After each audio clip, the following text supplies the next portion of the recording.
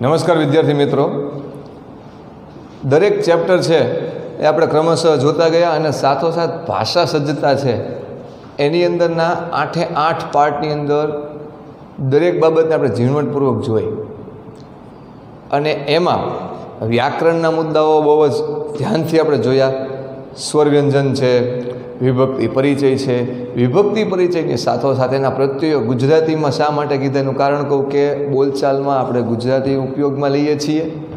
તો માટે કરીને એની સમજના ભાગરૂપે મેં ગુજરાતી પ્રત્યય પણ તમને કીધા હતા. ત્યારબાદ એક વચનની અંદર ઉદાહરણ આપેલા હતા કે ગજહ, ગજમ, ગજેન, ગજાય, ગજાત, ગજસ્ય ગજે અને હે ગજ. તો એ પ્રમાણે વિભક્તિ છે એની પણ આપણે માહિતી મેળવી હતી. ત્યારબાદ અસ્મદ અને યુસ્મદની વાત થઈ હતી. કે ભાઈ અસ્મદ યુસ્મદ બંને સર્વનામ, અસ્મદ એટલે હું યુસ્મદ એટલે તું. તો એમાં અહમ, આવામ, વયમનો પરિચય આપણે સંક્ષિપ્તમાં મેળવેલો. સાથોસાથ એક વસ્તુ એ નોંધવાની હતી કે એની અંદર ક્રિયાપદની વાત થઈ હતી.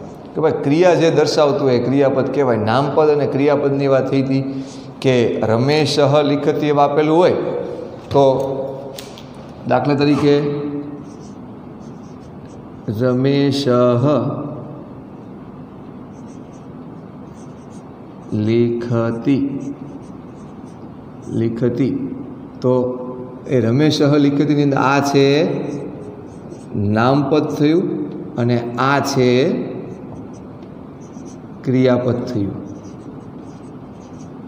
તો એ ક્રિયાપદની અંદર આપણે પાછી એવી સંક્ષિપ્તમાં વાત કરી કે બે પ્રકારે ક્રિયાપદમાંથી મૂળ વસ્તુ જે ગોતવાની હતી એ ધાતુ.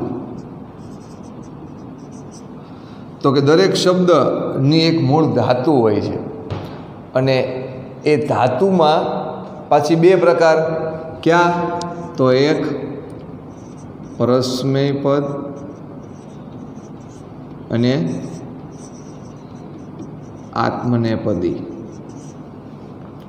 પછી એ ધાતુ સાથે મૂકવામાં આવે. હવે ધાતુની વાત કરીએ. પરસ્મયપદી આત્મનેપદી બે રીતે એના પ્રકાર. ધાતુઓ છે એ કુલ, એટલે કે ધાતુ ગણ છે એ દસ છે. એમાંથી આપણે ક્યાં ભણવાના હતા? પહેલો ગણ ચોથો, છઠ્ઠો અને દસમો ગણ. પહેલામાં અવિકરણ પ્રત્યય આવે, બીજામાં ય આવે, ત્રીજામાં અય આવે અને ચોથામાં અય અય. અય અહીંયા આવશે અ અને છેલ્લામાં આવશે અય. આ વિકરણ પ્રત્યય એટલે શું? જેની આપણે સંક્ષિપ્તમાં સમજ મેળવી કે જે પ્રત્યયની પહેલાં પ્રત્યય એટલે કે પૂર્વ પ્રત્યય દર્શાવવામાં આવ્યો હોય તેને વિકરણ પ્રત્યય તરીકે ઓળખવામાં આવે છે. એટલે ધાતુઓમાં આત્મને પદ, પરસ્મય પદ. પરસ્મય પદ પહેલાં, આત્મને પદ પછી. અને એમાં પ્રત્યયો લાગે. એ પ્રમાણે તમારે પરસ્મય પદની ધાતુ પરસ્મય પદી ધાતુ અને આત્મનેપદ હોય તો આત્મનેપદી ધાતુ તરીકે ઓળખાય. દસ ગણ અને દસ ગણમાંથી ચાર ગણ અને એ ચાર ગણમાં વિકરણ પ્રત્યય અ, ય, અ અને અય અય અને અય. વાત થઈ એમ કે વર્તમાન કાળ પરસ્મય જ્યારે આપણે પ્રત્યયો લગાડીએ છીએ, એ પ્રત્યય પહેલાં આ વિકરણ પ્રત્યય છે એ ધાતુ અનુસાર લાગે. માનો કે તમને ઉદાહરણમાં આપેલું હતું, હસ હોય તો એમાં હસ હસ પછી જે અ લાગે છે, એ આ વિકરણ પ્રત્યે અને પછી તી આવે. તો અહીંયા હસ, તી. હસ પ્લસ અ પ્લસ તી. તો આ વિકરણ પ્રત્યય થયો, આ ધાતુ થઈ અને આ પ્રત્યય થયો. આ ધાતુ, આ વિકરણ પ્રત્યય. વિકરણ પ્રત્યય અને આ પ્રત્યય. એટલે એનો અર્થ એમ થાય કે આપણે ધાતુ અને એને આધારે વિકરણ પ્રત્યેની પણ સમજ મેળવી હતી. હવે એમાં સૌથી અગત્યનું ટેબલ છે, એનું આપણે એકવાર પુનરાવર્તન કરીએ. અને પછી આપણું પુનરાવર્તન છે, ધ્યાનપૂર્વક લખતા જઈએ. તો એ ટેબલ બોલીએ તમારે પણ મારી સાથે બોલતા જવાનું છે મી વહ મહ સી થ થ તી તહ અંતિ ફરીથી મારી સાથે બોલતા જવાનું છે મી વહ મહ સી થ થ તી તહ અંતિ મી વહ મહ સી થ થ તી તહ અંતિ એને આધારે નમા મી, નમા વહ, નમા મહ, નમ સી, નમ થહ, નમ થ, નમ તી, નમ તહ નમંતી પઠનું ઉદાહરણ હતું કે પઠા મી, પઠા વહ, પઠા મહ, પઠ સી, પઠ થહ, પઠ થ, પઠ તી, પઠ તહ પઠંતી ચલ હોય તો ચલા મી, ચલા વહ, ચલા મહ, ચલ સી, ચલ થહ, ચલ થ, ચલ ચલ તહ ચલંતી એ પ્રકારે પહેલા ગણમાં આ રીતે તો ચોથા ગણની અંદર આપણે વાત થઈ એ પ્રમાણે કે એમાં ય વિકરણ પ્રત્યે લાગે અને છઠ્ઠા ગણની અંદર છે એ ફરીને પાછો અવિકરણ પ્રત્યે લાગે અને એના પછી દસમો ગણ છે જેમાં અય વિકરણ પ્રત્યય લાગે છે. તો આ છે એ આપણે એની પૂરેપૂરી માહિતી ભાષા સજ્જતા આઠ સુધી મેળવી હતી. હવે એક અગત્યનો મુદ્દો એ છે કે સંખ્યા છે એ આપણે હજી વ્યવસ્થિત થઈ નથી. શીખવાઈ ગઈ છે, પરંતુ હજી ઉચ્ચારણમાં, લેખનમાં ક્યાંક ભૂલ રહી જાય છે. તો આજે આપણે સંખ્યાની પણ થોડીક સમજ મેળવી લઈએ. તમારે મારી સાથે એકથી સો સંખ્યા બોલતા જવાની છે. જોઈએ. એકમ, દ્વે, ત્રીણી, ચત્વારી, પંચ ષડ સપ્ત અષ્ટ નવ દશ એકાદશ દ્વાદશ ત્રયોદશ ચતુર્દશ પંચદશ ષોડશ સપ્તદશ અષ્ટાદશ નવદશ વિંશતિઃ વિંશતિઃ અહીંયા દશ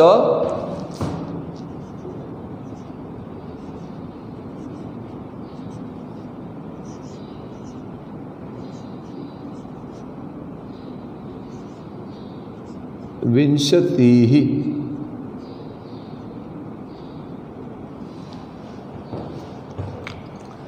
एकविंशतिः, द्वाविंशतिः, त्रयोविंशतिः, चतुर्विंशतिः, पञ्चविंशतिः, षड्विंशतिः, सप्तविंशतिः, अष्टाविंशतिः, नवविंशतिः, त्रिंशत्। त्रिंशत्। यहाँ लखिए। त्रिंशत।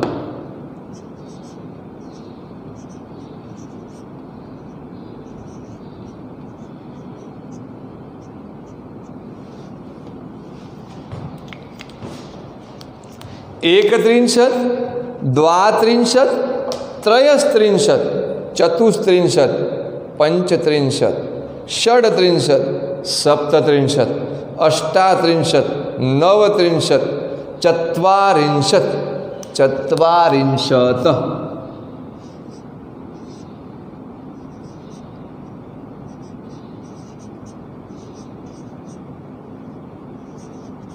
चत्वारिंशत्। ત્યારબાદ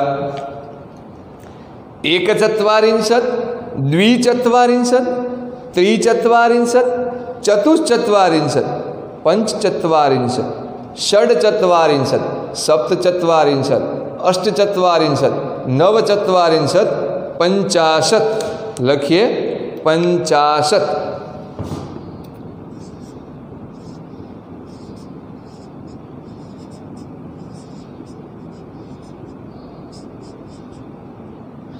પંચાશત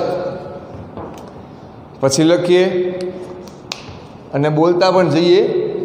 એક પંચાશત દ્વિપંચાશત ત્રિપંચાશત ચતુષ્પંચાશત પંચપંચાશત અષ્ટ સપ્તપંચાશત નવ નવપંચાશત ષષ્ટિ ષષ્ટિ. લખીએ.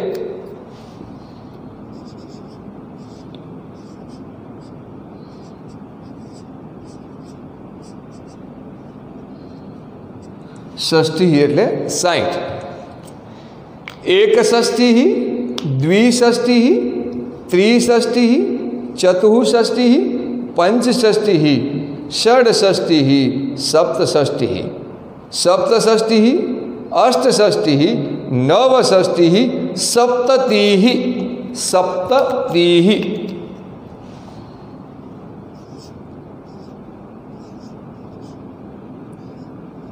सप्ततिः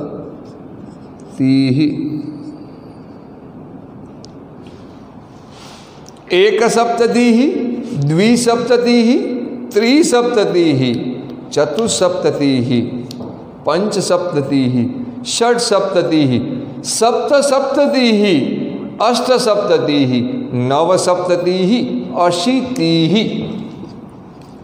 अशीति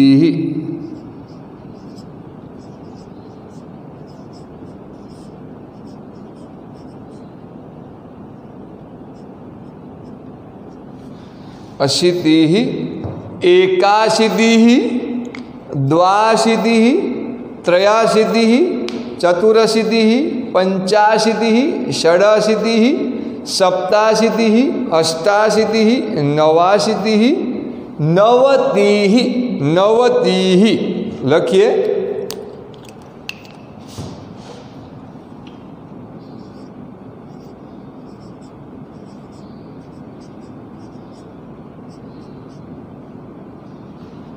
નવતિહ. અને નવતિથી આગળ બોલીએ. એકનવતિહ દ્વિનવતિહ ત્રિનવતિહ ચતુર્નવતિહ પંચનવતિહ ષણ્નવતિહ સપ્તનવતિહ અષ્ટનવતિહ નવ નવતિહ ને શતમ. લખીએ શતમ.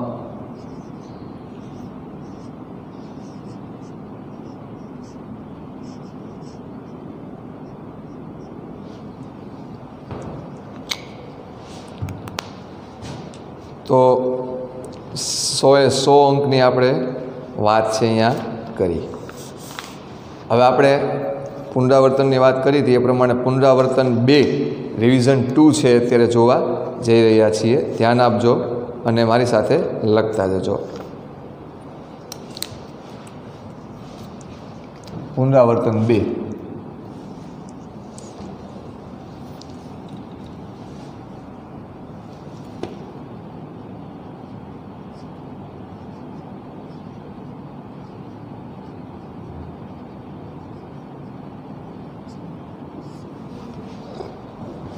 પુનરાવર્તન બે. ધ્યાન આપજો. જેની અંદર પહેલું આપણને એક ટેબલ આપેલું છે, એમાં લખેલું છે પ્રશ્ન નંબર એકની અંદર કે કોષ્ટકમ પૂરયતું. એટલે કે કોષ્ટક છે એ પૂર્ણ કરો. આપણા ટેક્સ્ટબુકની અંદર આખી ટેક્સ્ટબુકમાં પુનરાવર્તન એક પછી આપણું અંતિમ પુનરાવર્તન બે. જેની સૂચના આપેલી છે ફિફ્ટી સેવન નંબરના પાને ઉપર કોષ્ટકમ પૂરયતું એટલે કે કોષ્ટક પૂર્ણ કરો. કમ્પ્લેટ ધ ટેબલ એમાં થર્ટી નાઇન આપ્યા છે. તો એનો અહીંયા આન્સર છે. લખવો હોય તો કઈ રીતે લખાય? થર્ટી નાઇન તો નવ ત્રિંશત અહીંયા લખતા જઈએ, આ તમે સો સુધી જાણી લીધું છે. દશ વિંશતિ ત્રિંશત, ચત્વારિંશત, પંચાશત ષષ્ટિ સપ્તતિ અશીતિ નવતિ અને શતમ. હવે આટલી સમજ મેળવ્યા બાદ આ ટેબલ છે આપણા માટે. તો જ સોલ્વ થઈ શકશે. એટલે આપણે સંખ્યાનો પણ પરિચય ફરીને મેળવ્યો. હવે જોઈએ આપણા આ ટેબલને કઈ રીતે લખવું. તો અહીંયા આન્સર પણ હું અહીંયા લખતો જાઉં છું. થર્ટી નાઇન આપણને આપ્યા છે. પ્રશ્ન એ. Thirty nine.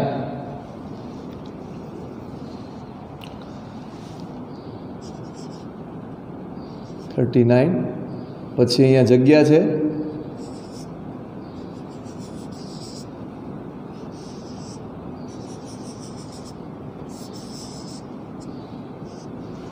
થર્ટી નાઇન પછી જગ્યા થર્ટ પછી સિક્સટી સેવન. આવી રીતે છે. હવે અહીંયા થર્ટી નાઇન માટે શબ્દ આવશે, પહેલાં તો નવ. નવ આપણે યાદ રાખવાના, પછી આ બોલવાનું તો ત્રીસઠ અને આગળ અહીંયા નવ બાજુમાં આપ્યા છે. તો પહેલાં જમણી બાજુની સંખ્યા યાદ કરવાની. નવ ત્રીસત નવ ત્રીસત નવ ત્રિંશત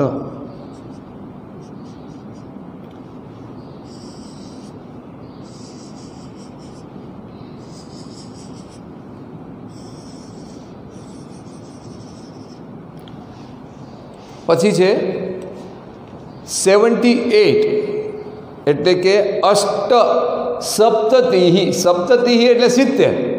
સેવન ઝીરો. સપ્તતિહી પણ અહીંયા અષ્ટ સપ્તતિહી છે, તો એના માટે સેવન એટ એમ લખવું પડે. આની જોડણી અષ્ટ સપ્તતિહી અષ્ટ સપ્તતિહી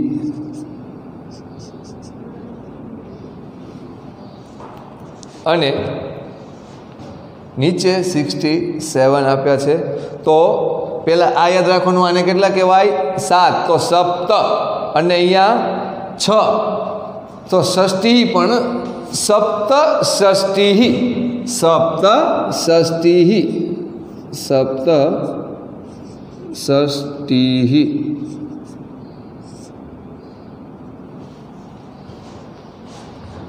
હવે બાજુની લાઈનમાં એક લાઈન છોડીને પછીની લાઈનમાં શબ્દ આપ્યો છે, ચતુર શીતિહી ચતુર શીતિહી અશીતિ પહેલાં યાદ આવવું જોઈએ ને અશીતિ અને બાજુમાં ચાર આપ્યા છે. એટલે કે એટી ફોરની વાત કરે છે. પહેલાં અહીંયા સંખ્યા માટે જરાક જગ્યા મૂકી દઈએ.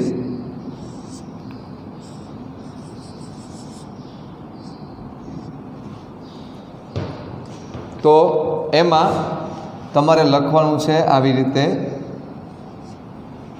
હવે આ યાદ રાખો ચતુર અને અશીતિહી. ચતુર શીતિહી. ચતુર શીતિહી. ચતુર શીતિહી.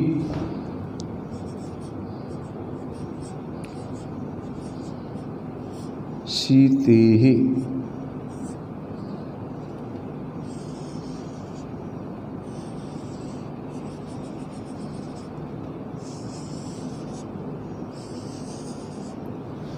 ચતુરશીતિ હવે અહીંયા આપણને આપી દીધેલા છે એટી નાઇન.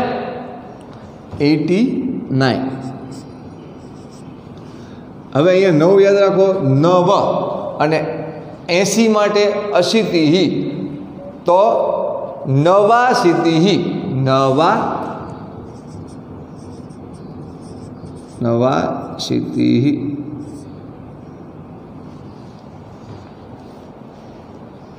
હવે અહીંયા ષડ પંચાશત આપણને મૂક્યા છે. આપીને દર્શાવી દીધા છે. ષડ. ષડ પંચાશત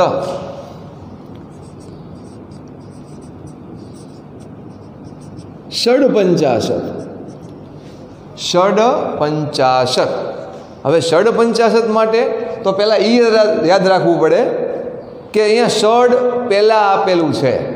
એટલે જમણી બાજુની સંખ્યા યાદ રાખવાની ષડ એટલે તો અહીંયા મૂકી દો છ. અને પંચાસત એટલે પચાસ. ષડ પંચાસત એટલે કે ફિફ્ટી સિક્સ અહીંયા પાછળ મૂકવાનો રહ્યો. ફિફ્ટી સિક્સ છપ્પનની સંખ્યામાં પહેલાં સડ યાદ રાખવાનું.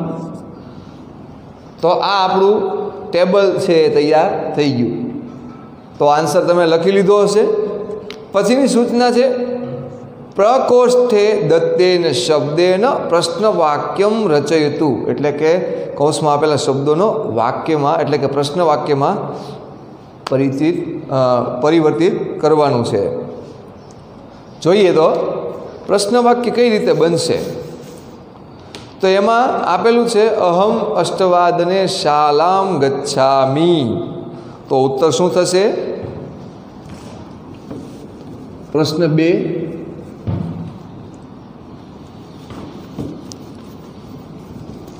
આપણે છે એ એનો ઉત્તર છે લખીએ છીએ. તમે વાક્ય છે વાંચો. એમાં કાઉન્સમાં કતિ આપેલું છે. એક વખત વાંચી લ્યો.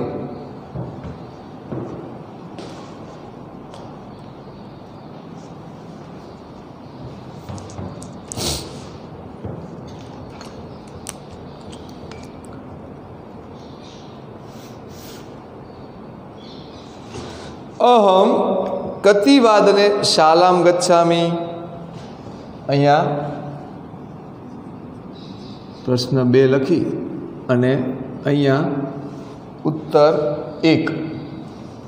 ઉત્તર એકની અંદર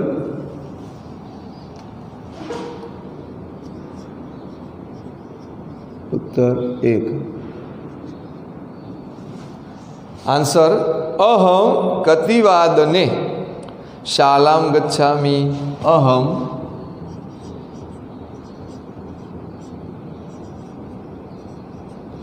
કતિવાદને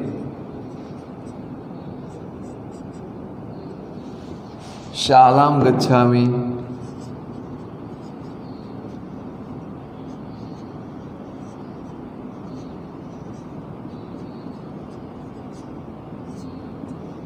હા અહીંયા ફૂલ સ્ટોપ નહીં આવે, અહીંયા આવશે પ્રશ્નાર્થ ચિહ્ન. હવે છે, એની પછીનો પ્રશ્ન હું વાંચું છું. ધ્યાન આપજો અને કાઉન્સમાં આપેલું છે, એને ધ્યાનમાં રાખીને પ્રશ્ન વાક્ય બનાવવાની કોશિશ કરવાની છે. સંસ્કૃત પુસ્તકસ્ય મૂલ્યમ ષડરૂપ્યકાણી અસ્તિ તો બાજુમાં કિયત છે. કિયત એટલે કેટલું? કેટલી? તો લખીએ એનો ઉત્તર, સંસ્કૃત પુસ્તકસ્ય મૂલ્યમ ષડ્યુ ષડ રૂપ્યકાણી અસ્તિ. એનો ઉત્તર, સંસ્કૃતસ્ય મૂલ્યમ સંસ્કૃત પુસ્તકસ્ય મૂલ્યમ કિયત અસ્તિ અહીંયા ઉત્તરમ બે. સંસ્કૃત પુસ્તકસ્ય મૂલ્યમ કિયત અસ્તિ સંસ્કૃત પુસ્તકસ્ય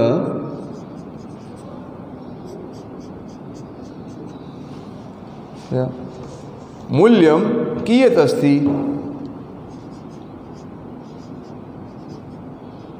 મૂલ્યમ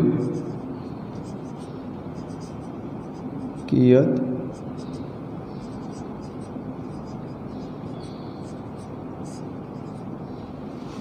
કિયત અસ્તિ મમ મિત્રમ જામનગરે વસતી. તો મમ મિત્રમ કુત્ર વસતી. લખીએ. અહીંયા આન્સર ત્રણ. મમ મિત્રમ પુત્ર વસતિ.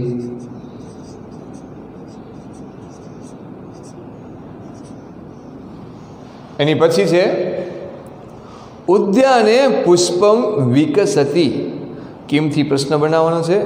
ઉદ્યાને કિમ વિકસતી? ચોથાનો આન્સર ઉદ્યાને કિમ વિકસતી.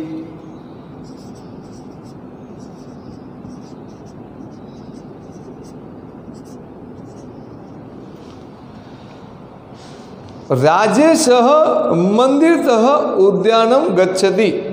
રાજેશ મંદિરત ઉદ્યાનમ ગચ્છતિ. કુતઃ અને કુત્ર એનો ઉપયોગ કરવાનો છે. રાજેશ કુતઃ કુત્ર ગચ્છતિ. રાજેશ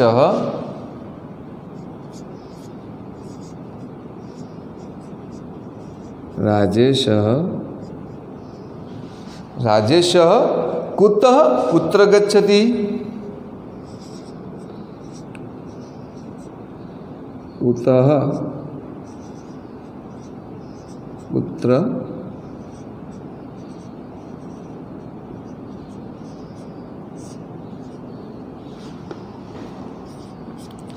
છઠ્ઠું બાલકાહ ક્રીડનાર્થમ ક્રીડાંગણમ ગચ્છતિ કિમર્થમથી પ્રશ્ન વાક્ય બનાવવાનું છે બાલકાહ ક્રીડનાર્થમ કુત્ર ગચ્છન્તિ બાલકાહ ક્રીડનાર્થમ.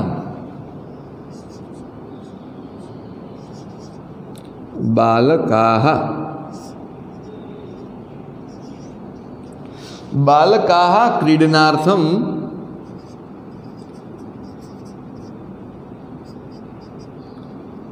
ક્રીડનાર્થમ ક્રીડાંગણમની જગ્યાએ આપણે કુત્ર મૂકી દેવાનું છે. કુત્ર ગચ્છંતી.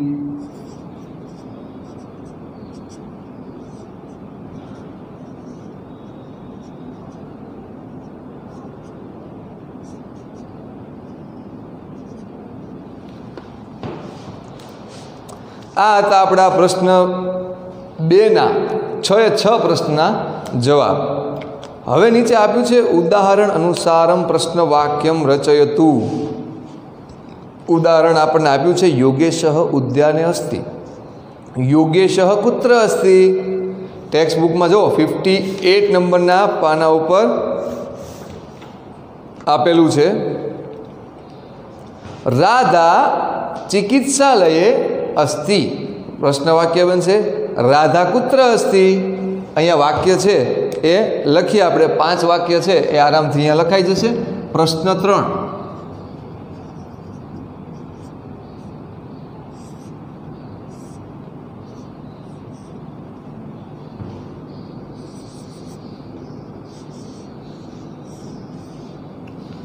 પ્રશ્ન ત્રણ. લખતા જઈએ અહીંયા. રાધા કુત્ર અસ્તિ અહીંયા આન્સર જ લખાવું છું અહીંયા. राधा कुत्र अस्ति।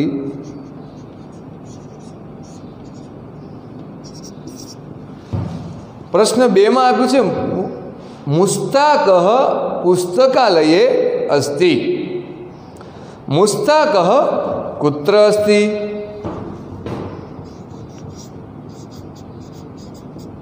મુસ્તાકહ कुत्र अस्ति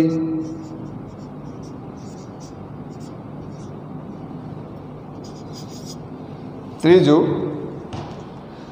ચંદ્રા કાર્યાલયે અસ્તિ લખીએ ચંદ્રા કુત્ર અસ્તિ ચંદ્રા કુત્ર અસ્તિ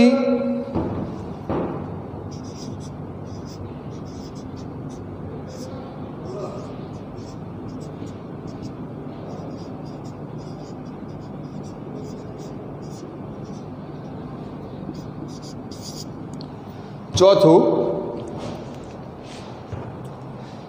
શિવલાલ આપણે અસ્તિ. શિવલાલ આપણે અસ્તિ. શિવલાલ કુત્ર અસ્તિ? આન્સર થશે?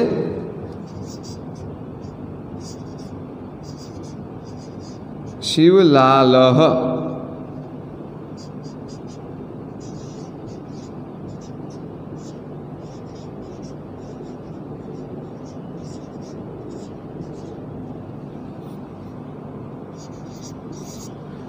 પ્રશ્ન પાંચ.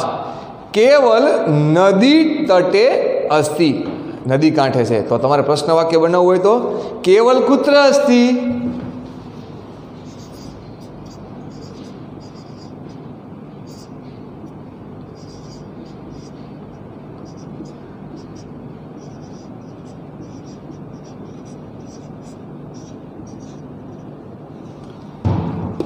કેવલ કુત્ર અસ્તિ ત્યારબાદ પ્રશ્ન નંબર ત્રણમાં આપ્યું છે, અધોલિખિતમ સંવાદમ પઠતું એવમ અભિનેય સહ તમ પ્રસ્તુતમ કરોતું. તો એમાં નીચેના સંવાદ છે, એને વાંચો અને અભિનય સાથે રજૂ કરો. હવે અહીંયા એક સંવાદ જ આપેલો છે, શિક્ષક વિરુદ્ધાર્થ વિરુદ્ધાર્થ પદાની વધતું એટલે કે વિરુદ્ધાર્થી શબ્દો કહે. છાત્ર અસ્તુ, શિક્ષક કોપ છાત્ર એનો આન્સર આપે છે શાંત શાંતતા કોપ શાંતતા એનો ઉત્તર શિક્ષક ધનિક છાત્ર ઉત્તર આપે છે નિર્ધન શિક્ષક પ્રશંસા ભાવેન સાધુ તો છાત્ર એનો ઉત્તર આપે છે અસાધુ. શિક્ષક કોપેન રે મૂર્ખ. છાત્ર શાંતતયા, શ્રીમન બુદ્ધિમન. શિક્ષક અલમ ગચ્છતુ. અલમ ગચ્છતુ. છાત્ર અપર્યાપ્તમ આગચ્છતુ. શિક્ષક કોપેન ઉત્તિષ્ઠતું, એટલે કે ઊભો થા. છાત્ર છાત્ર ઉપવિશતુ શ્રીમાન ઉપવિશતુ એટલે બેસવું. શિક્ષક, નિર્ગચ્છતુ ઇત અહીંથી જતો રહે. છાત્ર, તિષ્ઠતું. બેસો. અહીં રહો. કોષ્ઠકમ પૂરયત અથવા પૂરયતું. આ ટેબલને પૂર્ણ કરો. તો ટેબલની અંદર આપણને સંખ્યા આપેલી છે. અહીંયા તમારા અંકોમાં અને શબ્દમાં લખવાની છે. હવે અહીંયા એના જે જે અંક થાય છે, પ્લસમાં, ગુણાકારમાં, માઇનસમાં, એ દરેક સંખ્યા છે અહીંયા આપેલી છે અને એ તમને આવડે છે. એટલે એ કોઈ ચિંતા જેવું નથી. હવે છે, નીચેનો ફકરો વાંચો, વાંચી અને પ્રશ્ન વાક્ય બનાવો. પ્રશ્ન છ. તો ઋતા કુત્ર ગચ્છતી. પહેલાં તો આખે આખો પેરેગ્રાફ હું વાંચું છું, તમે ધ્યાન આપજો. અદ્ય સોમવાસર. ઋતા સાર્ધ સદ, સાર્ધ દશવાદને વિદ્યાલયમ ગચ્છતી. પ્રથમમ સા પ્રાર્થનામ કરોતી, અનંતરમ સા પ્રાર્થના સભાયામ સુવિચારમ કથયતી. તત્પશ્ચાત સા વર્ગખંડે ઉપવિશતી, એટલે કે બેસવું, ક્લાસરૂમમાં બેસે છે.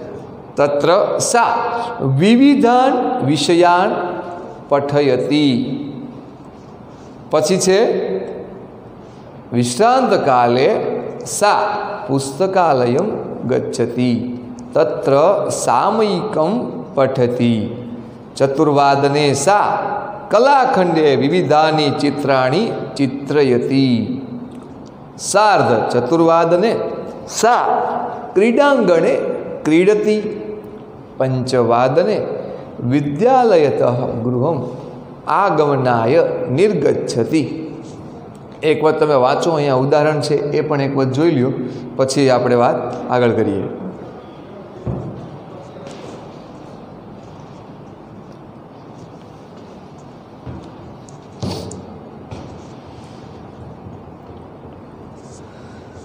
ચોથો સંવાદ છે, તમારે એમાં જોઈને આખો લખવાનો રહેશે.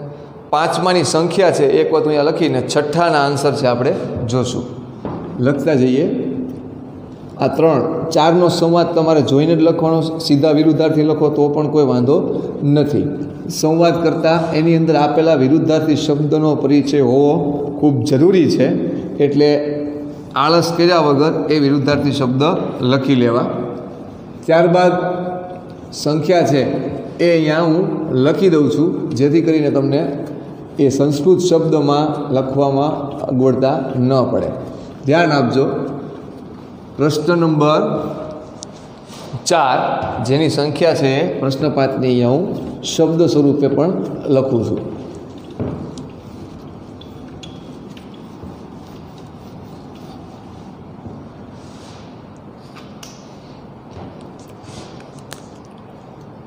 સીધો એનો આન્સર છે મૂકું છું. કોષ્ટકમ પૂરયતું. પ્રશ્ન પાંચ. સંખ્યા એમાં આવશે પંચ સપ્તતિહી પંચ સપ્તતિહી પછી છે થર્ટી સેવન અને ફોર્ટી સિક્સ પ્લસ આપ્યા છે એટલે કે ત્રયાશીતિહી એટી થ્રી. ત્રયશીતિહી. લખીએ.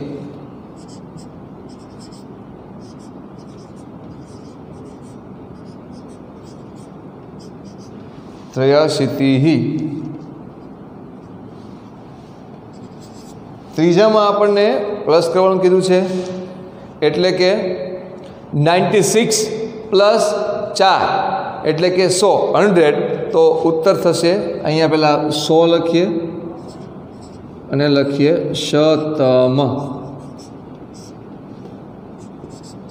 ચોથું, જેમાં આપ્યું છે seventy three minus twenty five એટલે કે ફોર્ટી એટ પહેલાં તો ફોર્ટી એટ લખીએ. પછી યાદ રાખવાનું પહેલાં આ બોલવાનું. એટલે અષ્ટ. અને અહીંયા ચાર છે તો ચત્વારિંશત. અષ્ટ ચત્વારિંશત. અષ્ટ ચત્વારિંશત.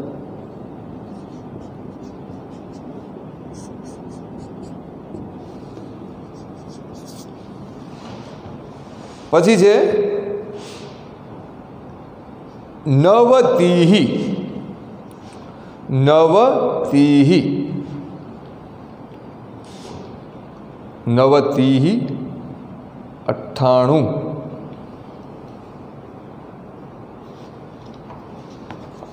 પ્રશ્ન નંબર પાંચ. જેની અંદર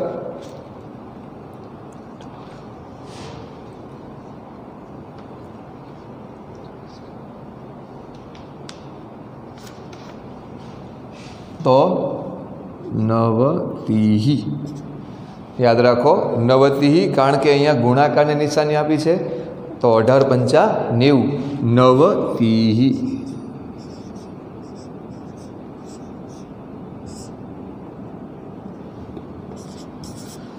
છઠ્ઠામાં ત્રીસ પ્લસ ચૌદ. તો ચતુષ ચત્વારિંશત અહીંયા બે ચોગડા કરી નાખીએ આપણે. તો પહેલાં ચાર. તો ચતુશ્ચ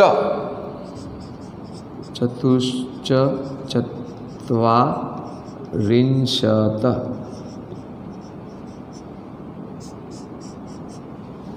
ચતુશ્ચત્વારિંશત સાતમું. સેવન્ટી એટ પ્લસ તેર. એટલે કે નાઇન્ટી વન થાય. તો એક નવતિહી એક નવતિહી આ એક છે અને આ નવ છે. એક નવ તીહી એક નવતિહી સિક્સટી ફોર માઇનસ કેટલા આપ્યા છે? ફિફ્ટી ટુ ઇક્વલ ટુ બાર, એટલે કે દ્વાદશ.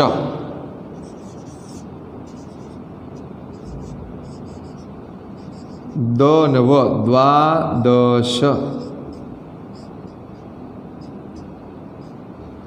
દ્વાદશ દશ એકાદશ એટલે અગિયાર અને દ્વાદશ એટલે બાર. એ લખ્યા પછી આપણે સીધા પ્રશ્ન નંબર છ, જેનો મેં પેરેગ્રાફ તમારી સમક્ષ વાંચી લીધો હતો. તો અધ્ય સોમવાર સરહદી શરૂ કરી અને છેલ્લે પંચવાદને વિદ્યાલયત ગૃહ ગમનાય નિર્ગચ્છંતી. નિર્ગચ્છતી ઉદાહરણમાં આપ્યું છે, ઋતા કુત્ર ગચ્છતી.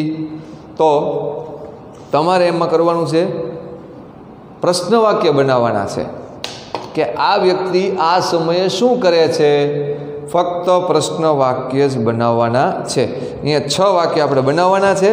છ વાક્ય કઈ રીતે બનશે? હું અહીંયા વાક્ય છે, બોલી જાઉં છું. ઋતા કદા વિદ્યાલયમ ગચ્છતી? લખવું હોય તો લખતા જજો, આના આન્સર હું ફક્ત બોલવાનો છું. ઋતા કદા વિદ્યાલયમ ગચ્છતી? એનો તમારા આન્સર તમારી પાસે ટેક્સ્ટ બુકમાં આપેલો છે. બીજામાં એવું લખાય, કે પ્રાર્થના સભાયામ ઋતા કિમ હતી તો તમે જોયું તો એમાં સુવિચારની વાત છે. પછી છે, તત્પશ્ચાત ઋતા પુત્ર ઉપવિશતી. પ્રાર્થના સભા પછી ક્યાં બેસે છે? તો કે વર્ગખંડમાં. પછી વર્ગખંડે ઋતા કેમ પઠતી? વર્ગખંડની અંદર ઋતા શું ભણે છે? વિશ્રાંત કાલે ઋતા કુત્ર ગચ્છતી, વિશ્રાંતિના કાલે ક્યાં છે? ક્લાસમાં તો કંઈ નાસ્તો કરે નહીં. તો એમાં એનો ઉલ્લેખ છે જ. અને છઠ્ઠું અને અંતિમ વાક્ય, પુસ્તકાલયે ઋતા કેમ પઠતી? તો એનો પણ ઉત્તર એમાં આપ્યો છે. તો આમાં સંવાદવાળું મેં તમને લખાયું નહોતું અને આના આના પ્રશ્ન વાક્ય છના, છ એ છ છે. પ્રશ્ન પાંચના છ છ પ્રશ્ન વાક્ય મેં બોલી સંભળાવ્યા છે. એટલે કે એનો અર્થ એમ કે પુનરાવર્તન બે છે મેં આખું અહીંયા વ્યવસ્થિત પૂર્ણ કરાવ્યું છે. સંખ્યા છે વ્યવસ્થિત યાદ રાખજો અને પ્રેક્ટિસ મૌખિક કરતા રહેજો. લખી લઈએ આજનું આપણું હોમવર્ક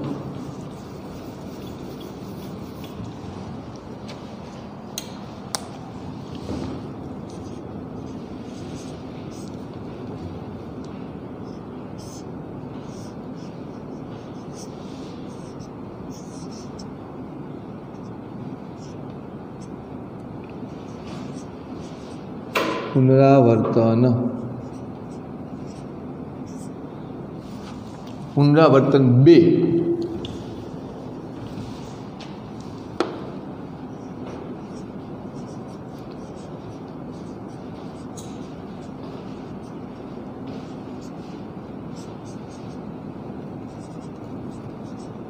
ફેરબુકમાં